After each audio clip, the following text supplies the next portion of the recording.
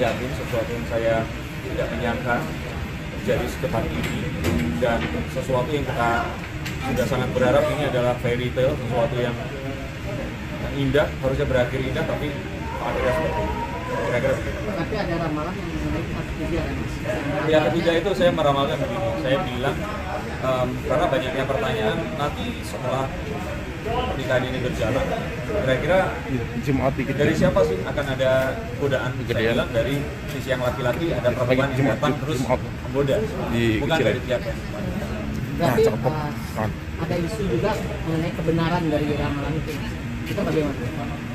Ya sangat disayangkan kalau ternyata apa yang saya bacakan itu terjadi. Saya saya tidak pernah merasa bangga dan senang saat ramalan buruk itu terjadi. Ini adalah sebuah sebuah peringatan. Jadi misalkan seperti saya ngomong ke teman-teman wartawan, hati-hati lo kurang tidur, akan tidak teratur, akan menyebabkan nanti eh, berat badan akan meningkat, terus kita akan diabetes dan sebagainya. Nah, itu kan sebenarnya bisa dihindari.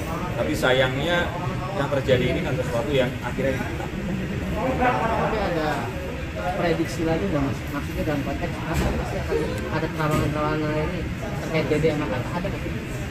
kalau ada ya ada dan saya di channel saya pun tapi ke depannya ya ini akan seperti apa ada cuman ya sebaiknya ditanyakan biar saya bisa jawab Ya oke, makanya maksudnya uh, prediksi terawangan Setelah kejadian ini apa yang dilihat sih mas? Kan baik-baik saja atau gimana gitu kan. kalau baik-baik saja tentu saja ini pasti akan ada ada ada satu permasalahan yang besar jauh dari baik-baik saja karena sesuatu yang terjadi ini kalau kita bilang kan sesuatu yang ini combo gitu loh selingkuhan dan eh, dugaan KDRT gitu. ini yang sangat disayangkan dan ini pasti tidak akan baik-baik saja Berarti endingnya set. Oh iya iya iya iya set set ending. Saya lihat set ending. Ah, buruk atau baik itu kan relatif ya mas ya. Tapi kalau menurut saya ini sesuatu yang bertentangan dari apa yang kemarin kita harapkan. Tapi ada ada indikasi. Tapi ada indikasi karir si B ya. Kalau saya kira jika itu terbukti benar, jika itu terbukti benar, iya. Berarti ada terawangan ke arah situ mas ya dari Iya, iya, jika itu terbukti benar. Karena saya mohon begini, jadi ini mohon juga disampaikan pada siapa pun. Ini bentuknya masih laporan, kita serahkan kepada kepolisian untuk ditindaklanjuti dan apa pun yang terjadi, kita berharap, iya, jika ini memang terjadi kita bersama dengan korban kebanyakan yang wanita di sini dan kita harapkan ya keadilan ini Dipegang ya. Tapi ada terawangan apa lagi sih dari Mas Denny ini terkait perkembangan ke depannya nih selain karirnya gitu kan apakah akan ada keterpurukan dari sisi prianya? Kalau saya kira yang tadi itu betul. Kalau yang eh, dari yang wanita, saya pikir malah ini akan menaikkan popularitasnya ya. Dalam arti yang saya melihat akan jauh lebih bersinar daripada sebelumnya. Tapi sebelumnya, sebelum kejadian ini terjadi, sempat nggak sih ada terawangan terkait adanya kekerasan ini gitu dari Mas Denny sebelumnya ya? Sebelumnya ya waktu bareng sama Mbak Yu itu saja. Setelah itu saya ignore, saya tidak pedulikan karena saya melihat akhirnya yang kami kemarin itu pikirkan terus dilihat ternyata menikah itu menikah. Dan ramalan itu sekali lagi saya sampaikan ramalan bukan sesuatu yang pasti akan terjadi. Ramalan itu bisa dihindari, jika buruk bisa dihindari, jika baik bisa dipastikan untuk terjadi dan sayangnya ini adalah satu hal yang kok disayangkan ini terjadi begitu. Tapi ada gambaran nggak sih sebelumnya gitu gambarannya terkait kehancuran uh, Saya tidak ada, tapi mungkin Mbak Yu melihat itu terus disampaikan dan ada di konten saya.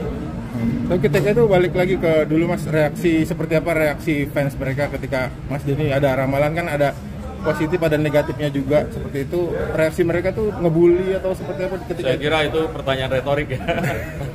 ya sudah jadi di, mungkin tempat sampah saya dikomentari oleh eh, banyak orang. Dan kembali ada kan yang orang bilang kalau ramalan itu doa. Sebenarnya bukan hanya doa, tapi kalau baik itu doa, kalau buruk itu sebenarnya adalah sebuah eh, warning, sebuah peringatan. Bahkan saya juga ya kadang-kadang meramal diri saya sendiri, peringatan untuk diri saya dan apa yang harus saya hindari. Oke, tapi kan uh, ada sisi uh, maksudnya sisi wanitanya akan lebih bersinar gitu. Apa apakah akan ada pengganti secara di waktu yang tepat atau gimana? Pengganti Ya, uh, pengganti pria. akankah rumah tangga ini bubar dan akankah ada pengganti si wanita ini untuk si pria? em, Sosok pengganti. Eh, gimana ngomongnya ya? Kayaknya saya akan ngomong itu ke nanti deh, tapi kita kan fokusnya sedang di sini kan. Terlalu cepat. Jadi kayak kalau keretanya itu urutannya kita sekarang lagi di sini, kita pikirin dengan apa yang terjadi dengan BBL itu tadi akan seperti apa dan setelahnya nanti juga saya pikir nanti kita mungkin ketemu lagi kita ngobrolin. Saya pikir saya nggak nggak ini nggak apa-apa kalau.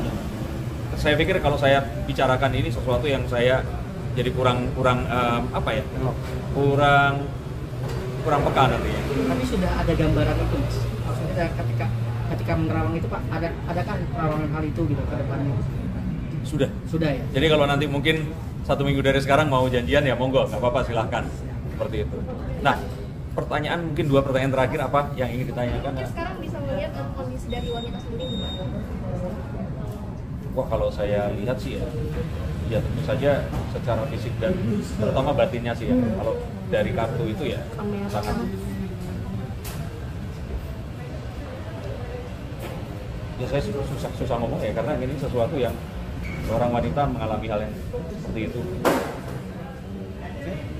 Saya nggak saya nggak nggak enak kalau saya harus bicarakan lebih jauh lagi karena kan saya melihatnya dari kartu lebih baik kalau seperti ini menanyakan pada lawyernya mungkin ya. Hmm. Oke mas, P- eh, terakhir adalah eh, ramalan kembali lagi viral. Melihat keviralan lagi ramalan dulu bersama Pak almarhumah, ini ada sedikit kaget nggak sih atau justru memang sudah diprediksi sebelumnya?